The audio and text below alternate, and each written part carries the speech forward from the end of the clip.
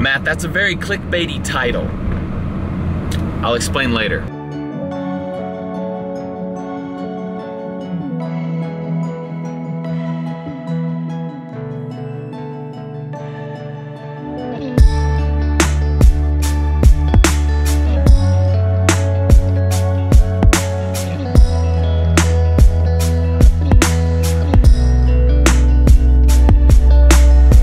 Good morning, Demolitia.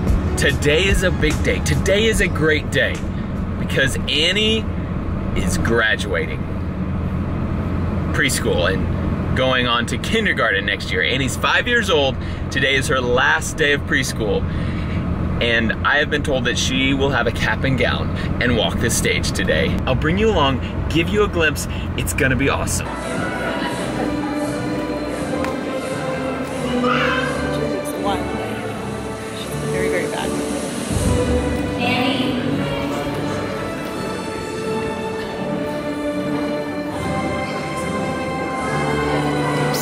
Hey, Annie. Annie, your mom and I could not be more proud of all you've accomplished so far in your life. We know that you're capable of taking over the world. You are destined for amazing things next year in kindergarten. I am here with the new graduate. Hi. Did you graduate preschool today? Uh-huh. Mare, are you crying? Mare said, what did you say? How'd you phrase it? She was like, I never got this emotional about a kid growing up before. And I think it's because, like, when Addie was Annie's age, graduating preschool, we had two babies. And we were just like, yep, like, we, this isn't like gonna end anytime soon. Like, we have little kids. But now it's like, our second one just graduated preschool, and Lincoln is gonna graduate next year. And we're kind of like, whoa, like, our kids aren't little anymore. Like, they're, they're going. Mare, it's gonna be okay. Annie, your mommy needs a big hug. we have some stuff to do at the warehouse. I'm gonna get changed real quick, and we're gonna take you up there. We've we've made some big changes that I think are gonna be for the better. Mary, you're crying. It's messing up my video. at the warehouse now, checking in with the boys. Hey, Brez. Oh, hey Matt. I'm, What's up, dude? Perfect timing. Oh, check out that guy, looking good over there. I'm glad you're here, man. Are you guys just watching the warehouse, making sure everything looks good? Oh, here, Mare, please. Yeah. Have a seat, sorry. Speaking of Sorry. warehouse, here you have a seat, Matt. Oh, thanks, you're the best. So, um, What's the sitch, guys? We need to know everything, and I, I brought the guys to, to, to tell them hey too. guys. So we kind of need to talk to you a little bit. Okay, are you quitting? No, no, not today. Good. Um, so we Maybe tomorrow. Am I fired? we spent a little bit of money. It was, an, it was an investment. How much money? A lot of money. My money? Um, yeah. It was a lot of money. So, I was planning on buying like a Corvette this month, though. um, but I can show you what we spent money on if that'll make it any better. If it's guns, we're cool. It's not guns. it's a place to put guns, though. Yeah, I can hold some guns. It's easier to just show you. Look at her face. Welcome to your brand new warehouse. We're adding on some new YouTubers, some more social media influencers soon. We needed room to make all that happen. Tell me what we got here, guys. This this looks different than last time I saw it.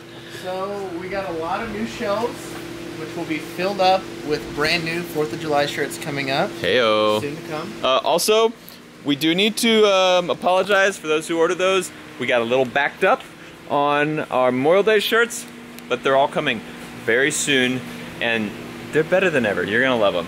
This is a lot of shelves, bros.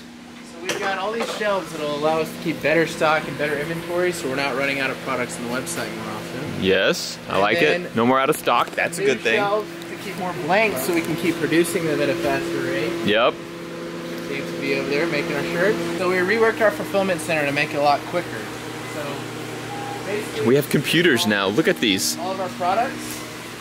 These will be your pickers, so they'll pick everything that's in the order, pass it down to these guys who work on the computers to scan and make sure we're sending the accurate items. Oh, so the pickers are on this side of the table. The Pickers on packers are over there.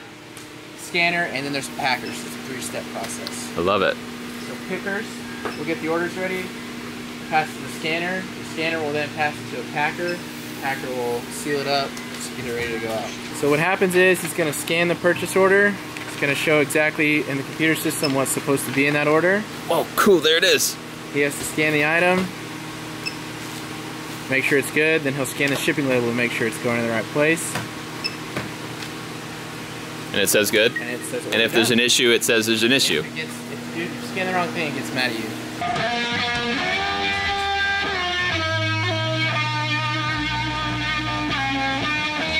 So far, I'm not mad about the money you spent. What is? Why is there no number written here? What happened? Uh, we'll show you. Yeah, do you have that on film? We do. Recently, there's been a few issues. Happened right here.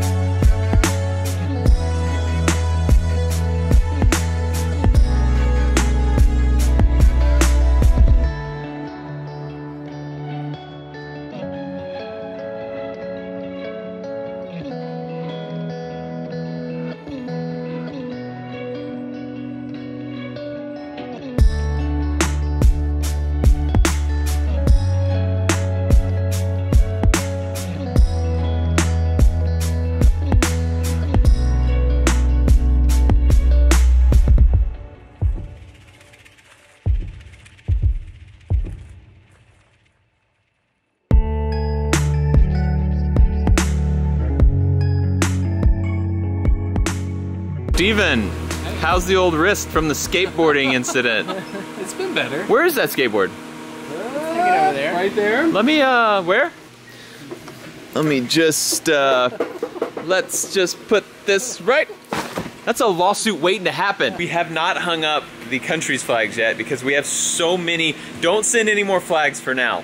Uh, I, we probably have every country. We have so many flags, so no more flags um, until I get everything like the count. And I, I gotta get an updated list because there's so many that we haven't even gone through them all to get an updated list. We asked for flags. You guys came through. Thank you, but chill. Just just chill for a sec while uh, we get updated list together. So the whole goal of this thing is to bring on more creators, and actually next month, sometime in June, we'll be bringing on our fourth, if you count me, fifth creator. It's a big channel, three million plus subscribers. We're really excited to bring this person on, and I think you're gonna be excited to see who it is when I can announce it.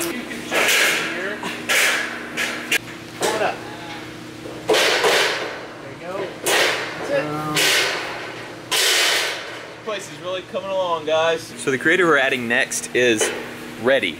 They're just waiting on us. We're trying to get designs all finalized. We're trying to get the website built. A lot of back end stuff just to get everything taken care of. But we're we're getting it done. This is super sketchy. I'm just I'm just walking up here on this. I'm probably gonna die. We're probably about to add to our uh, accident list. As long as we get it on camera though, it's all good. What do you got? Hey, good boy, come here.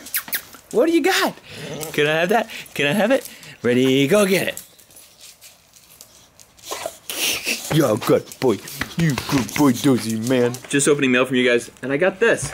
New York State bunker branding license plate. Super cool. Thank you, Steve. You the man, brother. Hey, Matt, I know you like doing videos with sound comparison on the weapons slash suppressors, aka silency things slash air rifles. Nailed it. And the camera struggles to adjust to it. I thought this might come in handy to help show the difference. Pat. Pat sent me a digital sound level meter. I've never used one of these. But this is super cool because when we do sound comparison videos, you can't tell because the cameras auto adjust the sound. They want it to not be crazy. And so if something's really loud, they make it normal. If something's really quiet, they make it normal. So this will actually be a definitive way to show you if it's quieter or louder. So thank you, Pat. You're awesome. W.J. O'Brien. He ordered two helmets. He sent these before we actually posted our helmet video on Demolition Ranch. So he had no idea, and now we have two more helmets. This is like a, looks like a Vietnam helmet. Um, I'll have to do some research. I thought that video was neat. You guys did too, apparently, because it got like 3 million views in the first few days. But we may have to do another helmet testing video. Mr. O'Brien, thank you. Super cool. Casey Neistat was recently asked a question and answered the question, is it worth now in 2018 to start a YouTube channel? All right, here's kind of a big question. Is it worth starting a YouTube channel now in 2018? My answer for that is yes. Mine is too. But if you were to ask me, can you make a living on YouTube now in 2018?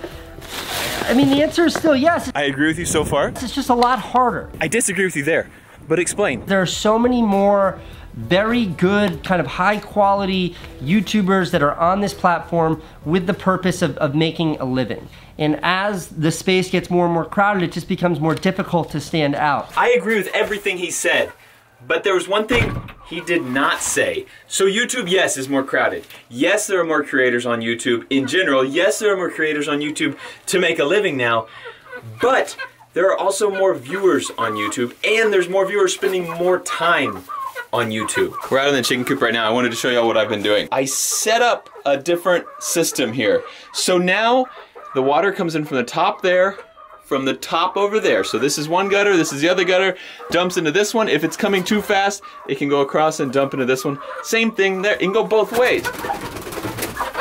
Okay, just chill, just jeez. And I used to have the overflow coming out of the top, but what I realized is this part that goes around the top does not seal it perfectly, so we leaked out water everywhere once these filled up all the way. So what I did is they have drains in the bottom that go out to the outside, but the drain also comes back up here, and I have clear pipes. So you can see our water level right there. So this clear pipe shows the level in this one, this clear pipe shows the level in this one. And once the clear pipes fill up all the way, they can go and fill up the other barrel. So for instance, the roof that flows into this barrel has a higher area than this barrel. So this one should fill up faster.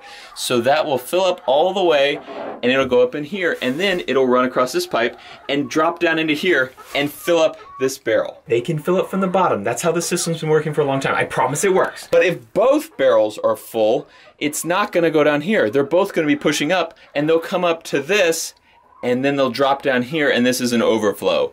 So you can see this is lower than the top of our barrels. So once the water level gets to here, when the barrels are totally full, they will overflow out of here and this will all be hooked up against the wall once I'm done with it. And it'll go out there and overflow and dump onto the ground. This is still something I've been working on. Still need to do a couple things to finish it all, but it's really close. Very, very close. I gotta walk past you guys just don't freak out. These are the new chickens, and they're real skittish, and they also love being in the coop.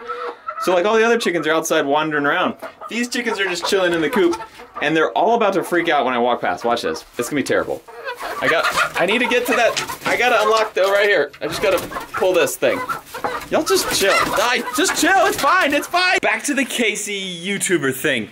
Yes, there are more high level, super talented creators than ever before, but there's also more viewers than ever before. YouTube said that year after year they get a 50% increase in viewership. I remember back when I started, I saw Shaytards making videos, Shay Carl, and Shaytards was getting like 200,000 views every day on his daily vlogs. And it was making the news. People were amazed by it. They were like, this guy's just making daily vlogs, getting 200,000 views.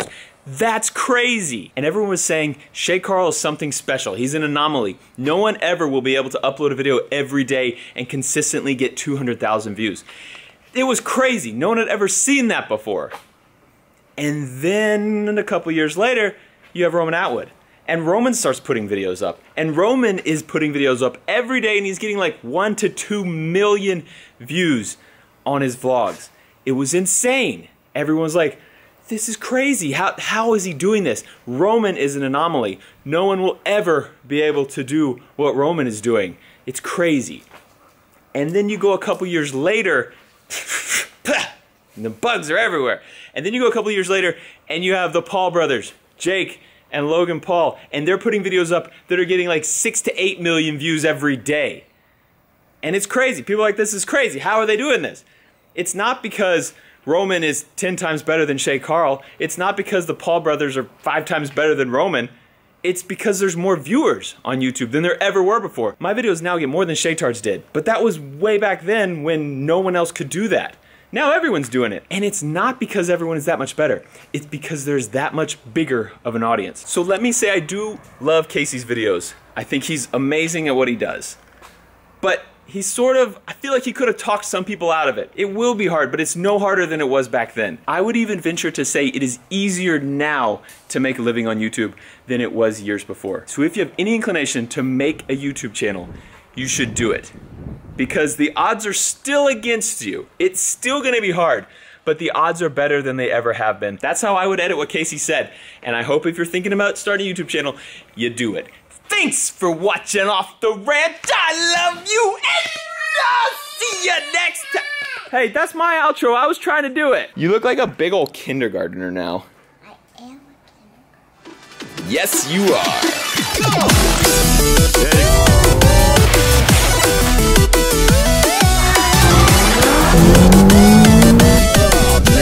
We should have just got two ladders, but but I'm into it.